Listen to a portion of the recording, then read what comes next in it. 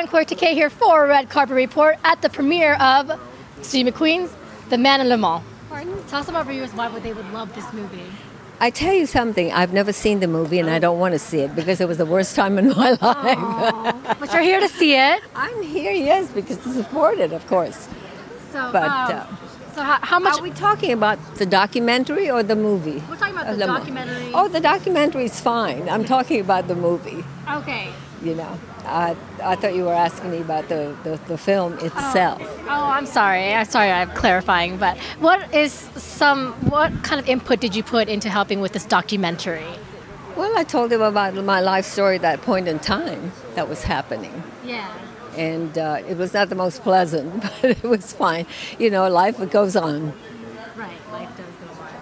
What was it like um, for you during that that period? You know, being being married to. It was a horror.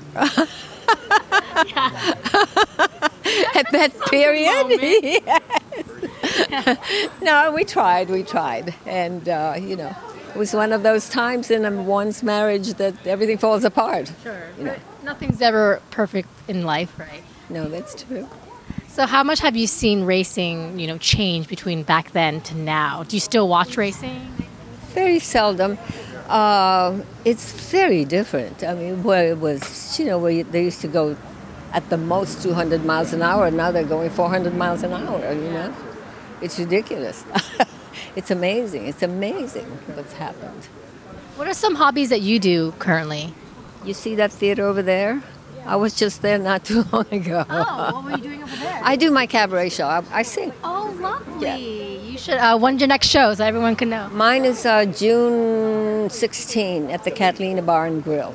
Oh, here, and then I'm going. I'm going to Paris soon, and I'm going to Ireland next in t- ten days. for fun or for work? Fun and work. Lovely. That's awesome. You're doing big things. Well, I'm singing. You know, I'm singing. Dance. I can't dance like I used to dance. You know, so I'm singing.